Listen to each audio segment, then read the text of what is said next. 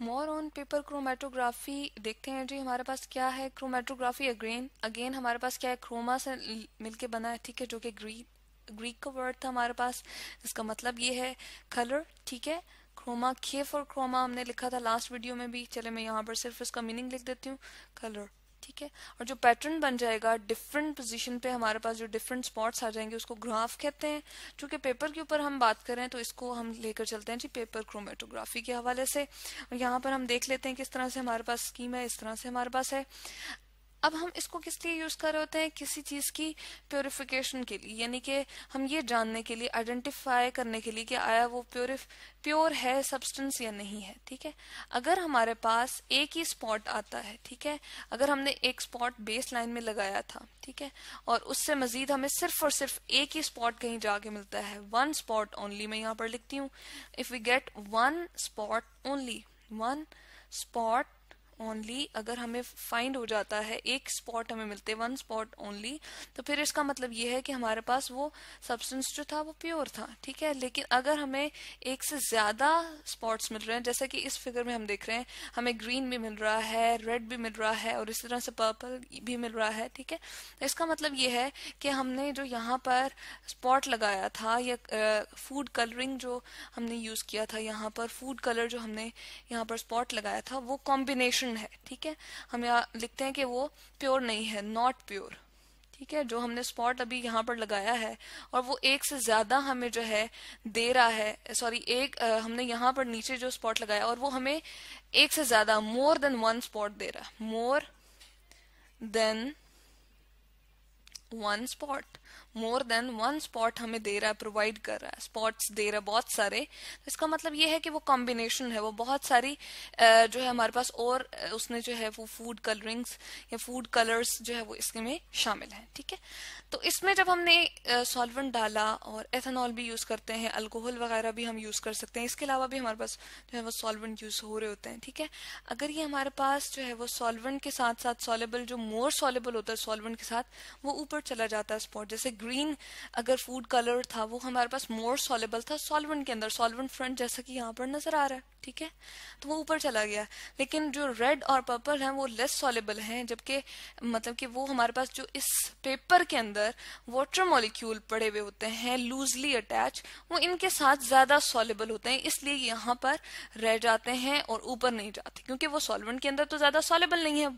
Water molecule जो कि paper के अंदर मौजूद है, उससे ज़्यादा सॉलेबल है इसलिए वो यहाँ पर रह जाते हैं, ठीक है?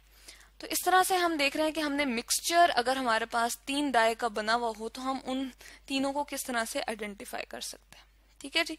तो यहाँ पर हमने देखा कि इधर हमारे पास प्योर है या फिर हम कह सकते हैं कि हमारे पास कोई भी चीज़ प्योर है या फिर प्योर नहीं है, उस दोनों के दरमियान में डिस्टिंग्विशन हम कर सकते हैं या उन दोनों में डिफरेंस जो है वो हम देख सकते हैं कि कोई चीज़ प्योर होगी तो उसका सिर्फ़ और सिर्फ़ एक स्पॉट बनेगा और अगर वो प्योर नहीं होगी तो हमारे पास मोर देन वन स्पॉट बन जाएँगे। ठीक है? उसके बाद हम देखते हैं कि हम लोग आर एफ़ वैल्यूज़ को कैलकुलेट करते हैं। ठीक है? आर एफ़ वैल्यूज़ हमारे पास क्या होती हैं जी? आर एफ़ वैल्यूज़ को हम कहते हैं जी रिटार्डेशन फैक्टर आर एफ़ में यहाँ पर लिखती हूँ आर एफ़ ठीक है? रिटार्डेशन फैक्टर की कोई चीज़ हमारे पास कहाँ पर रिटार्ड होके रुकावट उसको मिल गई और वो वहाँ पर रुक गई है। और ये हम किस तरह से, इसको थोड़ा सा हम सीधा करते हैं जी, किस तरह से हम लिख सकते हैं? इसको हम लिखते हैं कि हमारे पास जो बेसिकली हमारे पास होता है एक ट्रेवल करता है डिस्टेंस कौन? सब्सटेंस जो हमारे पास, जो चीज़ होती है, वो ट्रेवल करती है हमारे पास, कोई भी डिस्टेंस जो है, वो ट्रेवल करती है। ठीक है, यहाँ पर हम लिखते हैं, किसी भी हद तक वो ऊपर तक जाता है तो उसके डिस्टेंस को हम देख लेते हैं। डिस्टेंस ट्रेवल्ड यहाँ पर हम लिखते हैं ट्रेवल्ड बाय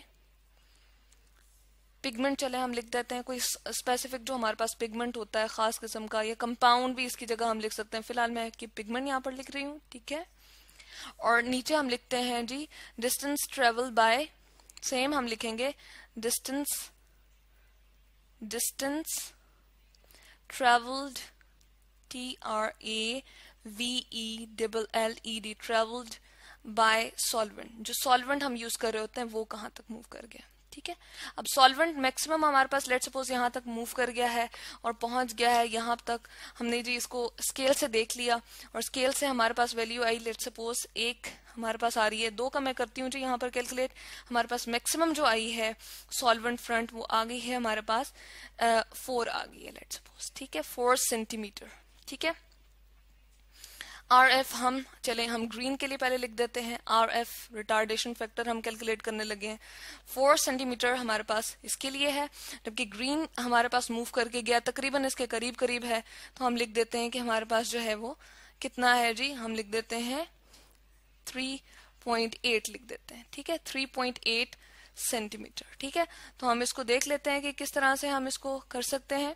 हमारे पास जो है, इसको कैलकुलेट कर लेते हैं हमारे पास। 3.8 ठीक है?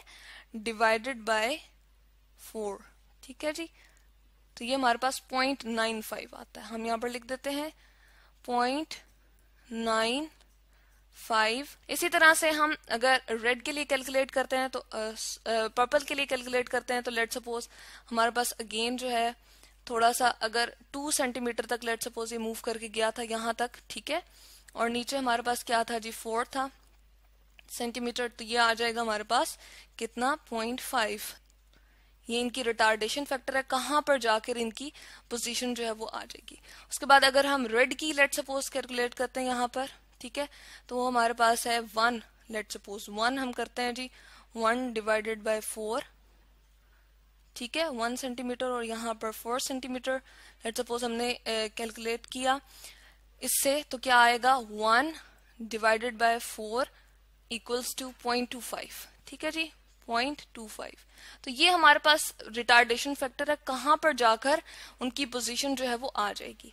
जब बहुत टाइम के बाद हम देखते हैं तो हमारे पास यहाँ पर ही इनके स्पॉट्स रहते हैं और मजीद नहीं जाते। तो ये इनके रिटार्डेशन फैक्टर्स हैं और इस तरह से हमें ये कैलकुलेशन रिक्वायर्ड होती है। और ये सारे मिलके वन के इक्विवेलेंट बन जाते हैं। तो ये है जी मोर ऑन पेपर क्रोमेटोग्राफी के हम देखते हैं जो प्योर सब्सटेंस होता है, वो एक स्पॉट बनाता है और जो प्योर नहीं होता, वो मोर स्पॉट्स बनाता है और आर एफ़ वैल्यूज़ हम इस तरह से कैलकुलेट कर लेते हैं।